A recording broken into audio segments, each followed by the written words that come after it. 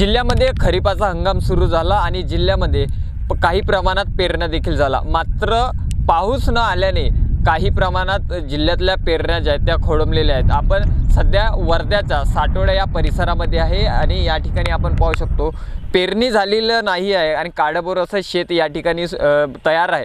मात्र पाऊस न आल्यानं ही परिस्थिती शेतकऱ्यांवर आलेली आहे. काय ज्या पेरण्या आहेत त्या खोळंबलेल्या आहेत. दृश्यांमध्ये आपण पाहू शकतो या ठिकाणी पेरणीसाठी जे वावर शेत तयार करायचं असतं ते शेत यांच्याकडून तयार केलं जात आहे. मात्र यावरच बोलण्यासाठी काही शेतकरी आपल्यासोबत आहे आपण त्यांच्याकडून जाणून घेणार आहोत. काय सांगाल पेरण्या अजूनपर्यंत झालेल्या नाही पाऊस आलेला नाही का? काय नेमकं कारण? पाऊस पेरणी योग्य झालेला नाही व जो पाऊस जो मे- मृग नक्षत्राचा यायचा होता तो एक महिना पाऊस लेट झाला. त्याच्याच्यानं पेरणी पेरणीला खोळम पेरण्या खोळंबल्या आहे. जो पेरणी मृग नक्षत्रात झाला तो उत्पन्नात वाढ होते. आता पेरणी लेट हे व्हेरिकोज वेन्स देहापासून आराम करा. आराम? काका नम्मा होमिओपॅथी मध्ये याला उपाय आहे. नम्मा होमिओपॅथी आरोग्य संजीवनी. झाल्याच्यानं पंचवीस टक्के उत्पादनात घट येणार आहे व शेतकऱ्यावर आर्थिक भुर्दंड पडणार आहे. उत्पन्नात घट आल्यामुळं व यावर्षी पाऊस असा आहे की येणार की नाही याची आश्वासकता नाही आहे. नक्कीच पेरण्यांमध्ये उत्पन्नामध्ये घट होणार आहे पेरण्या खोडंबल्यामुळे. आपल्यासोबत आणखी एक शेतकरी आहे. तुम्ही काय सांगाल? अनेक वर्षापासून शेती हा व्यवसाय करता आणि सोयाबीन आणि कपाशीसाठी तुरक पाऊस आलेला नाही का? पेरणे योग्य होत आहे नाही सोयाबीन आणि कपाशी करता या यावेळेसचा पाऊस अजूनसुद्धा झालेला नाही आहे. जमिनीच्या आतमध्ये गेलेला नाही आहे. आणि जवळपास एक महिना पाठीमागे सर्व शेतकरी गेलेले आहे. त्याच्यामुळे एक महिन्यानंतर सोयाबीन होईल तर मग तेव्हा गव्हाची चण्याची काय पोझिशन राहील? त्याच्यानंतर पाणी जर जास्त लागून आला ती गहू चणा काढता येणार नाही. म्हणजे येणारं यावर्षीचं शेतीचं भविष्य हे अंधारात दिसून राहिलेलं आहे. पेरण्या जर आता लेट झाल्या तर उत्पन्नात कशा प्रमाणात घट होण्याची शक्यता आहे? शेतकऱ्यांचं काय नुकसान होण्याची शक्यता? उत्पन्नात घट म्हणजे जिथे सोयाबीन दहा पोते व्हायचं तिथं पाच पोते होईल. जिथे कापूस चा चार पोट क्विंटल व्हायचा तिथे दोन क्विंटल होईल. या अशा प्रकारे तुरीसुद्धा आहे. उत्पन्नात फार मोठी घट घडणार आहे.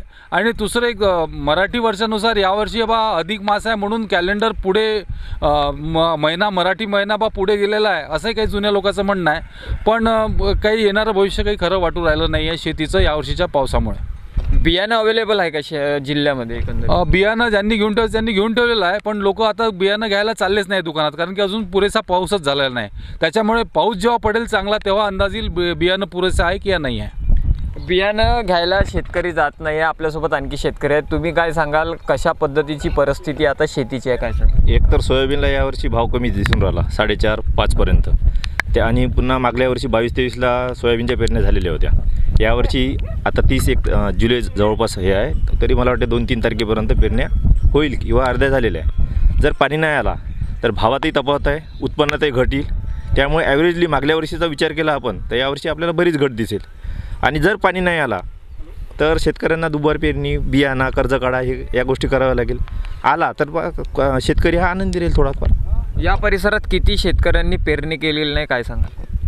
सत्तर पर्सेंट तर अ, कॉटनच्या पेरण्या सॉरी नव्वद पर्सेंट कॉटनच्या पेरण्या झालेल्या आहे. सोयाबीनच्या पेरण्या जवळपास चाळीस पर्सेंट झालेल्या आहे. साठ पर्सेंट साठ पर्सेंटच्या पाण्याच्या अभावी रखडलेल्या आहे. एकंदरीत काय वाटते शेतकऱ्याचं पिकामध्ये उत्पन्न होण्याची शक्यता वाटते का?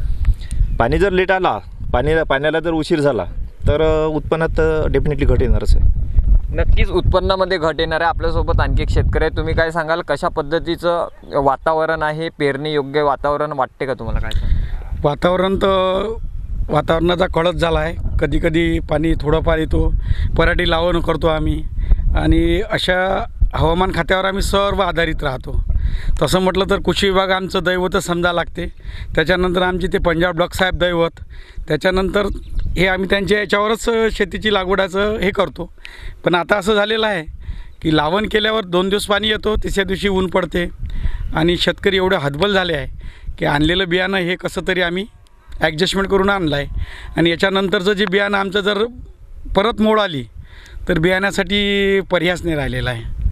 बियाणं अवेलेबल आहे का जिल्ह्यात? जिल्ह्यात आहे पण आमचं मन दुविधा अवस्थेमध्ये आहे.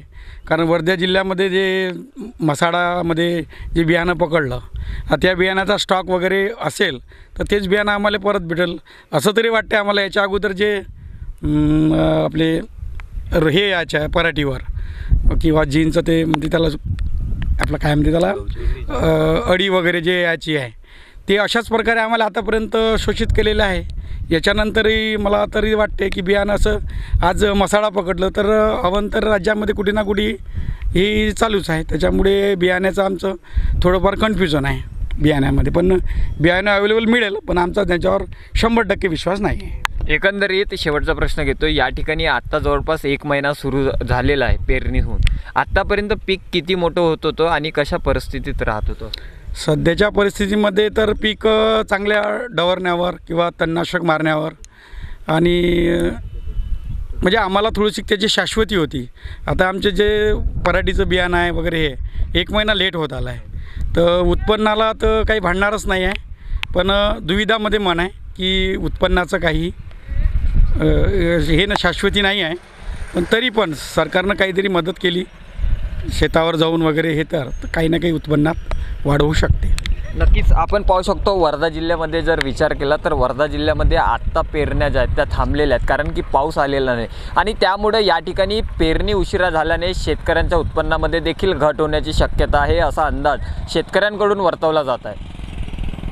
कॅमेरामॅन निखिलसोबत मी मिलिंद दांडे झी चोवीस तास वर्धा.